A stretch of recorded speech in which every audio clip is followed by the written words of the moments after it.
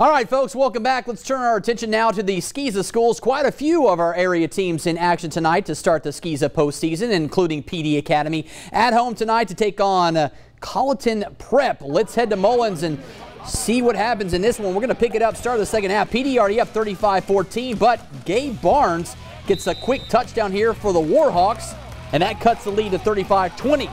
Next Pee Dee possession, here come the Eagles. Jake Lane and company looking for more. Drops back to pass and fires a deep shot to Caleb Oakley, who keeps the drive alive with a huge gain. Later in the drive, Lane connects with Jesse Lane. He's in for the score. Golden Eagles with another touchdown up 42 to 20. We move fourth quarter now.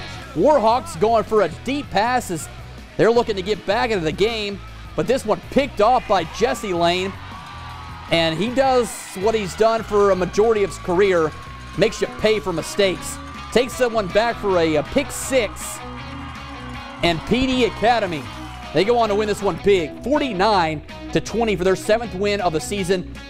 So that means the Eagles next week will go on the road to Thomas Heyward for a second round matchup in the SCISA postseason.